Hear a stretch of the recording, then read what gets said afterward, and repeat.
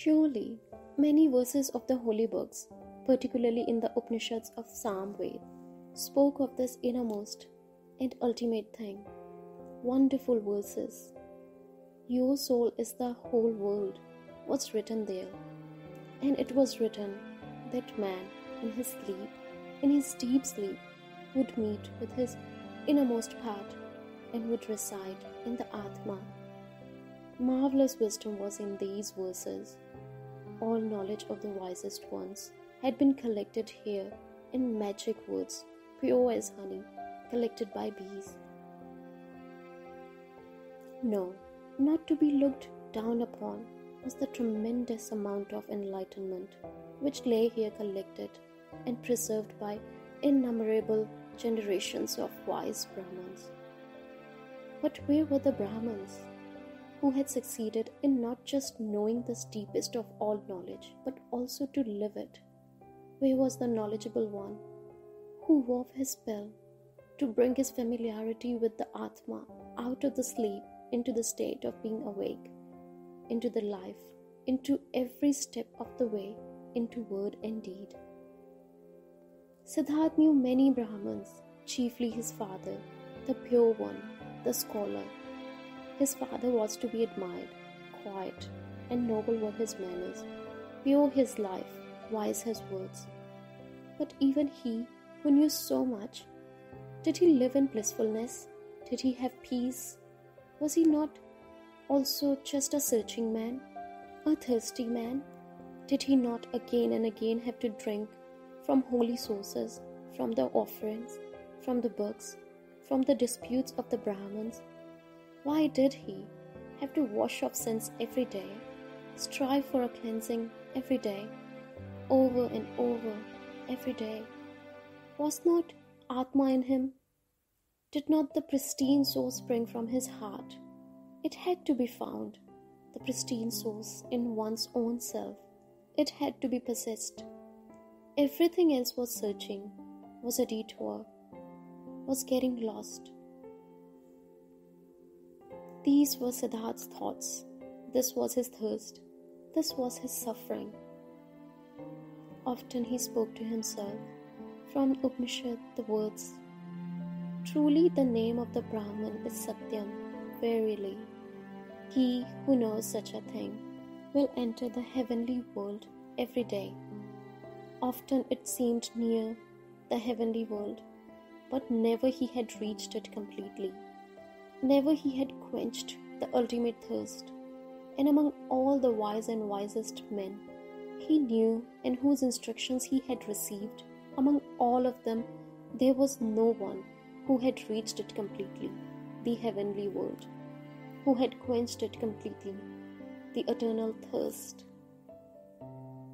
Siddharth spoke to his friend, Govind, my dear, Come with me under the banyan tree. Let's practice meditation. They went to the banyan tree. They sat down, Siddharth right here, Govind 20 paces away. While putting himself down, ready to speak, the Om, Siddharth repeated the verse. Om is the bow, the arrow is soul. The Brahman is the arrow's target that one should incessantly hit. After the usual time of the exercise and meditation had passed, Govind rose. The evening had come. It was time to perform the evening's ablution. He called Siddharth's name. Siddharth did not answer. Siddharth sat there lost in thought. His eyes were rigidly focused towards a very distant target. He wrapped up in contemplation, his soul sent after the Brahman as an arrow. Once, Samanas had traveled through Siddharth's town, ascetics on a pilgrimage, three skinny withered men, neither old nor young, with dusty and bloody shoulders, almost naked, scorched by the sun, surrounded by loneliness, strangers and enemies to the world, strangers and lank jackals in the realm of humans. Behind them blew a hot scent of quiet passion, of destructive service, of merciless self denial. In the evening, after the hour of contemplation, Siddharth spoke to Govind. Early tomorrow morning, my friend, Siddharth will go to the Samanas. He will become a Samana. Govind turned pale when he heard these words and read the decision in the motionless face of his friend, unstoppable like the arrow shot from the bow. Soon, and with the first glance, Govind realized now it is beginning. Now Siddharth is taking his own way. Now his fate is beginning to sprout. He exclaimed, O Siddharth, will your father permit you to do that? Siddharth looked over as he was just waking up. Arrow fast, he read in Govind's soul, read the fear, read the submission. He spoke to Govind quietly. Govind, let's not waste words. Tomorrow, at daybreak, I will begin the life of the Samanas. Speak no more of it. Siddharth entered the chamber where his father was sitting on a mat and stepped behind his father, remained standing there until his father felt that someone was standing behind him. He said, Is that you, Siddharth? Then say what you came to say. Siddharth, with your permission, my father, I came to tell you that it is my longing to leave your house tomorrow and go to the ascetics. My desire is to become a samana. May my father not oppose this. The Brahman fell silent and remained silent for so long that the stars in the small window wandered and changed their relative positions. Silent and motionless stood the son with his arms folded. Silent and motionless sat the father on the mat, and the stars traced their paths in the sky. Then spoke the father. Not proper it is for a Brahman to speak harsh and angry words, but indignation is in my heart. I wish not to hear this request for a second time from your mouth.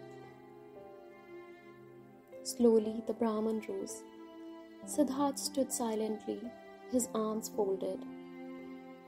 What are you waiting for? asked the father. Siddharth, you know what? Indignant, the father left the chamber. Indignant, he went to his bed and lay down. After an hour, since no sleep had come over his eyes, the Brahman stood up paced to and fro, and left the house. Through the small window of the chamber, he looked back inside, and there he saw Siddharth standing, his arms folded, not moving from his spot. With anxiety in his heart, the father returned to his bed. And he came back after an hour. He came back after two hours, looked through the window saw Siddharth standing in the moonlight by the light of the stars in the darkness. And he came back hour after hour silently.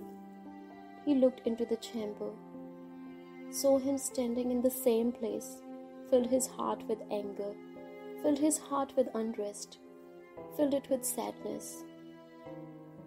And in the night's last hour, before the day began, he returned stepped into the room and saw the young man standing there, who seemed tall and like a stranger to him. He spoke, Siddharth, what are you waiting for? You know what? Will you always stand that way and wait until it becomes morning, noon, and evening? I will stand and wait you will become tired, Siddharth. I will become tired. You will fall asleep, Siddharth. I will not fall asleep.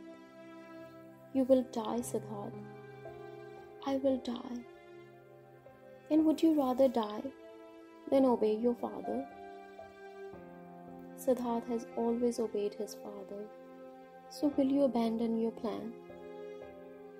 Siddharth will do what his father will tell him to do. the first light of day shone into the room. The Brahmin saw that Siddharth was trembling softly in his knees. In Siddharth's face, he saw no trembling. His eyes were fixed on a distant spot. Then his father realized that even now, Siddharth no longer dwelt with him in his home, that he had already left him. The father touched Siddharth's shoulder. He spoke, You will go into the forest and be a samana. When you'll have found blissfulness in the forest, then come back and teach me to be blissful. If you'll find disappointment, then return and let us once again make offerings to the gods together. Go now and kiss your mother. Tell her where you are going to. But for me, it is time to go to the river and to perform the first ablution. He took his hand from the shoulder of his son and went outside. Siddharth wavered to the side as he tried to walk. He put his limbs back under control, bowed to his father, and went to his mother to do as his father had said. As he slowly left on stiff legs in the first light of the day, the still quiet town, a shadow rose near the last hut. Who had crouched there and joined the pilgrim? It was Govind. Siddharth smiled and said, You have come, Govind. I have come